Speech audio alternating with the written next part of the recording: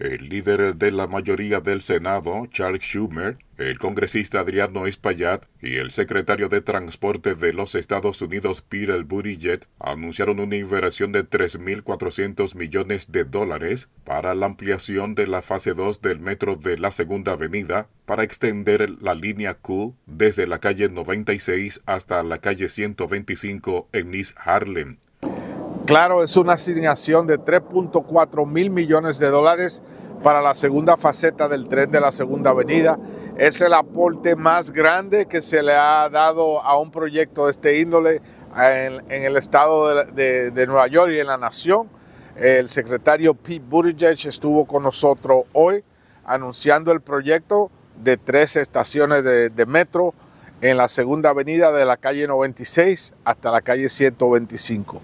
El proyecto es el resultado directo de muchos años de arduo trabajo, dedicación y defensa en colaboración con la gobernadora Hochul, dijo hablando en español el secretario de Transporte de los Estados Unidos, Peter Buttigieg. Los beneficios no solo son aquí, alrededor del país estamos avanzando 37 mil proyectos de infraestructura para asegurarnos que nuestro sistema de transporte sea más seguro y eficiente y para garantizar que nuestras cadenas de suministro funcionen de manera confiable, lo cual nos ayude también a mantener bajo el costo de los bienes para las familias. Cuando esté finalizado el ambicioso proyecto, más de 300.000 usuarios se beneficiarán del metro de la Segunda Avenida, dijeron las autoridades. En Nueva York, Rafael Díaz les informó.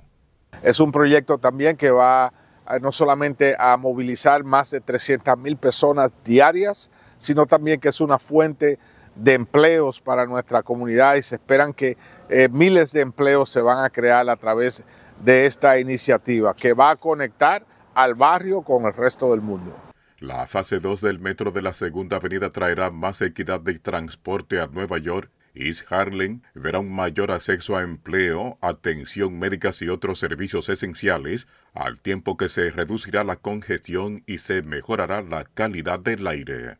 En Nueva York, Rafael Díaz les informó.